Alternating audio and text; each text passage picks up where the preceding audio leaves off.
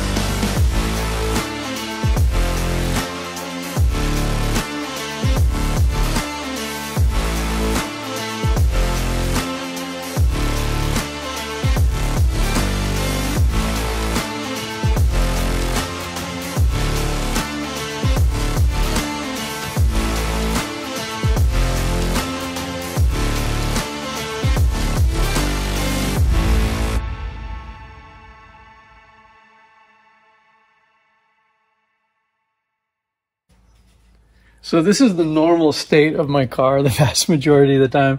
I've got wing foil gear with a lot of different foils and whatnot, a whole bunch of wings. I've got a kite board and I've got my windsurf stuff in there so I can kind of adapt for what the day has on offer. But today we're talking about windsurf boards and what I've been riding the last few days. This is my normal daily Ho'okipa, Oahu, kind of everything board. 88 liters.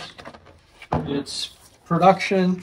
Uh, I've been riding production boards exclusively for at least the last 15 plus years.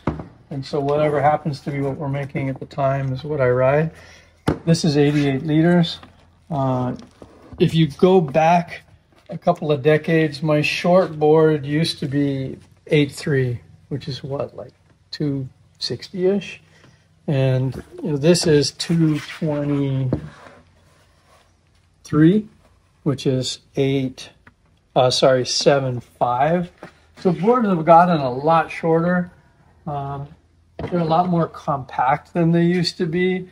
And for me, I kind of had to adapt my riding to that. I was a thruster guy forever, rode single fins for a long time, and I'm riding a quad now because that's what we've got in production. But I've actually learned to really enjoy the way they ride, uh, tracky and loose at the same time, if that makes any sense at all.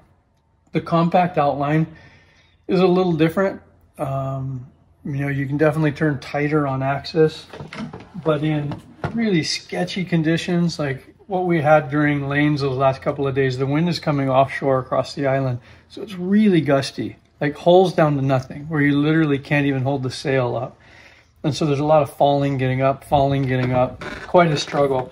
And with this 88 liter board, I'm right on the edge of, of being able to float. And so I uh, actually went and grabbed a bigger board from the loft, which is for me huge. This is 96 liters. And uh, I'm a little heavier than I once was. I used to be pretty much my whole life around 170. And right now I'm 180, 181, 182 either. So I don't know if I'm just getting muscly or that's just age kind of. Wait for this airplane. So this is 96 liters. I went and grabbed this uh, from the loft, and it's bigger than what I normally ride, but it's still really small. Uh, it's it's still barely seven feet, and so the volume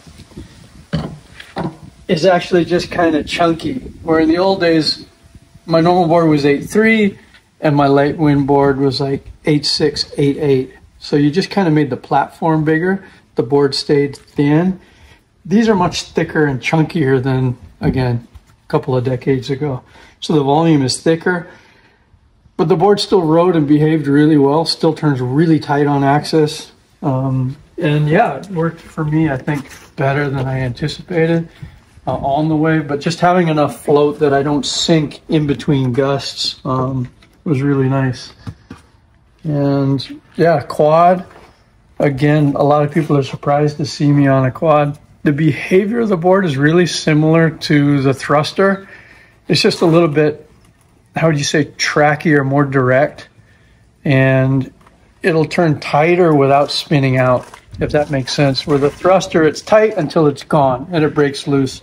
These you can kind of ride in a sort of a almost sort of broken loose all the time. It's hard to describe. I think just having four smaller fins allows the thing to slide off axis without completely breaking loose and spinning out.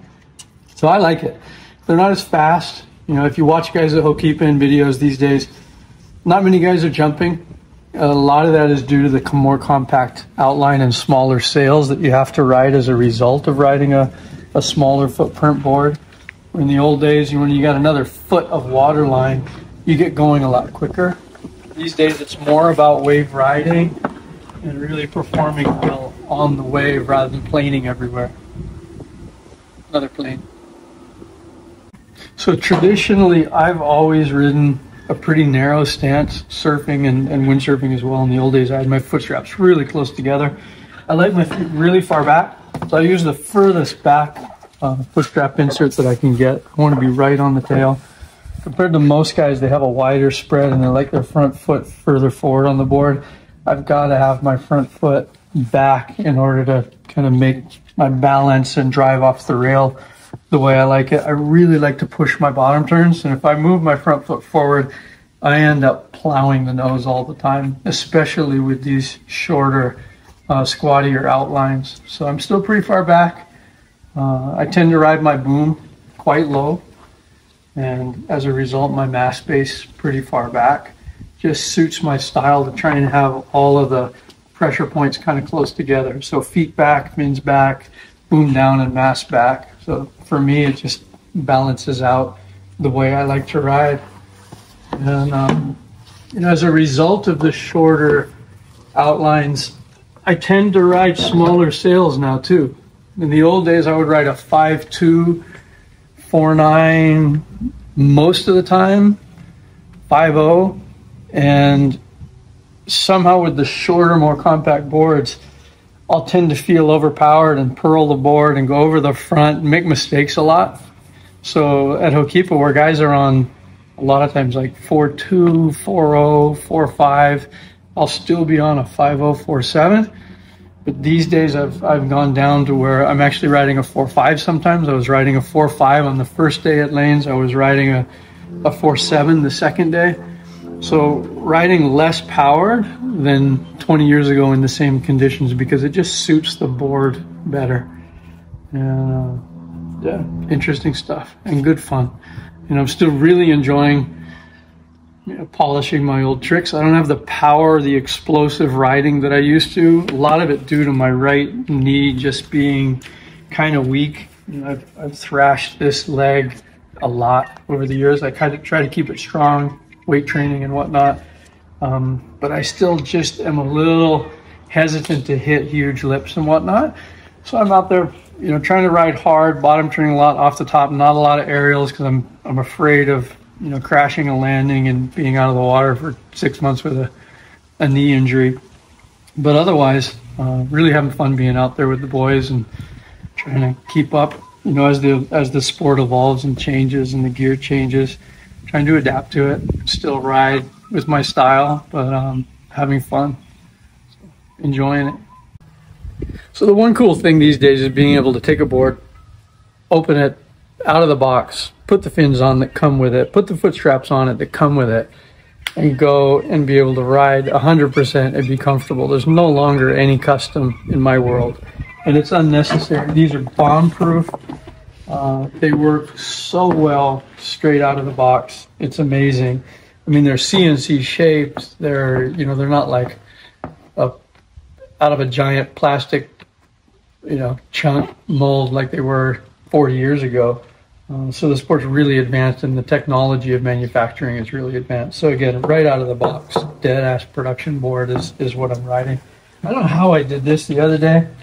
I wiped out only once. I got lipped from behind and uh, I could feel myself going down, let go. And I think the sail, the mast, just uh, dinged it. So I got to fix that. These things are so strong. It's absolutely insane. Strong, stiff, and light. Uh, so the riding has improved as well over the decades because the boards have gotten so much better. You know, not only have they been adapted in terms of outlines, getting shorter and more compact and more fins and whatnot, technology has just allowed such incredible weights. Um, the volume is different now too, though. You know, if you look in the old days, a board of 88 liters for me would have been thinner, like way thinner rails, longer, you know, probably a foot longer than this. And so they rode different. You know, these again uh, some getting used to. But it's amazing with what to me is a pretty chunky rail if I compared it to my rails from 1989, 1990 or whatever. They still surf so well. You can still really drive the rail in a bottom turn, which I wouldn't have imagined 30 years ago, being able to, to push that hard on a board that's that thick. So yeah, it's cool. Things have come a long way and gone nowhere at the same time. It's exactly the same. Same fun as it was back with a plastic board and wooden booms. So yeah, if you're not getting out there, get out there.